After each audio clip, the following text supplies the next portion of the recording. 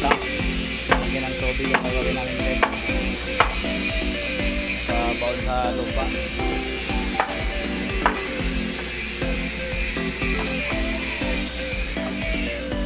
Grabing init ngayon guys, pero Tagalog talaga sa init. Ayan, ano guys sa baba.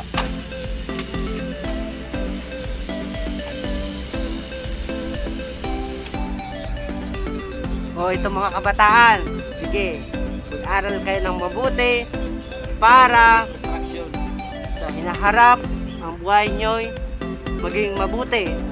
Tama ba? Tayo muna mag-asawa. Huwag muna kayo mga babae. Huwag maglandi. O, tingnan mo. At saka mag-subscribe kayo kay Jojo Idea. Saan nyo yung channel niya? Suportahan nyo ang channel niya dahil yan, tingnan nyo naman. Oh. Dito kami ngayon sa Saudi.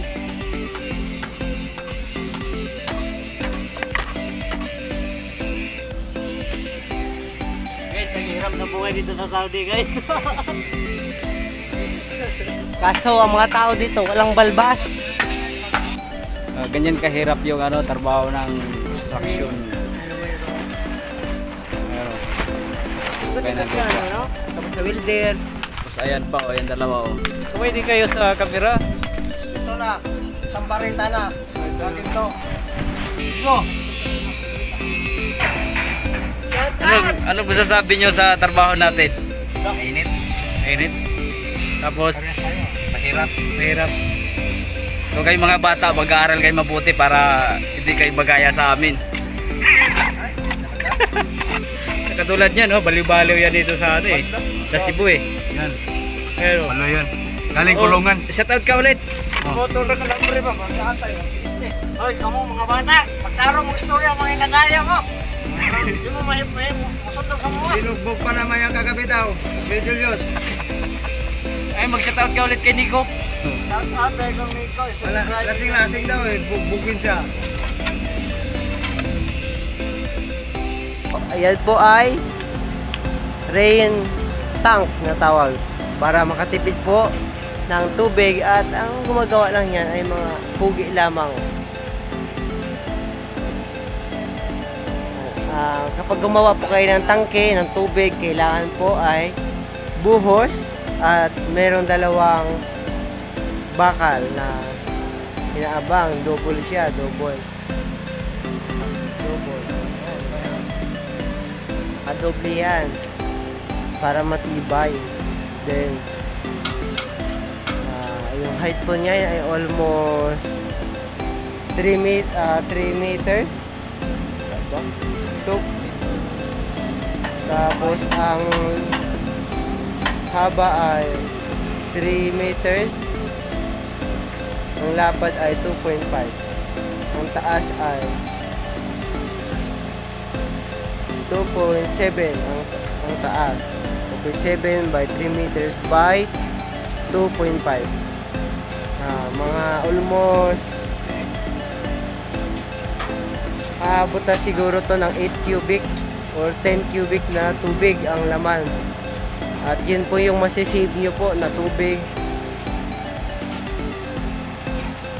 Ah, malaking tulong po yan kapag kayo ay merong garden, sa CR, at kung ano-ano pa, mga sa car wash, kung may business kayo, at yan ay nakakatulong ang tinatawag na rain tank. Ito. Yan. ah. ang naka-idea po, yan po, si Jojo Idea. Ang nakagawa, naka-invento ng design na yan.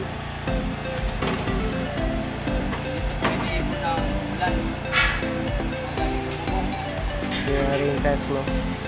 At kasi ang tubig ulan ay nakakapataba ng, ng mga bulaklak at saka mga tanim ng mga gulay. Kaya ganyan. At para makatipid na din. Guys, tapos na yung paglagay ng ano, bakal. So, ganyan yung paglagay ng bakal niya na kailangan ay double. Na makikita nyo may pagitan sa gitna.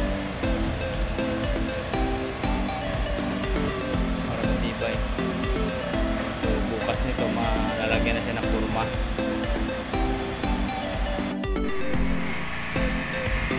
Guys, nagapaglagay na po kami ng kurma sa loob. Pangalawang kurma, may kurma sa labas, may kurma sa loob. Malapit na siya matapos.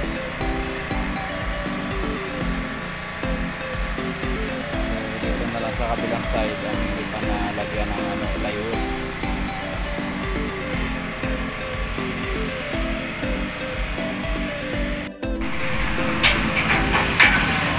Patapos na yung forma. May mga tukot, lobo lang ang ginamit.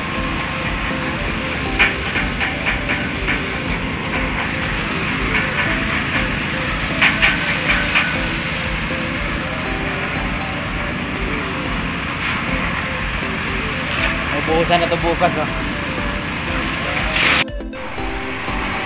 Guys, pinuhusan na yung rin water tank. Meron si TV, tumulong mag ano, buhos. Parang may problema pa. Ah, kailangan ako mag- sa channel to, channel 7.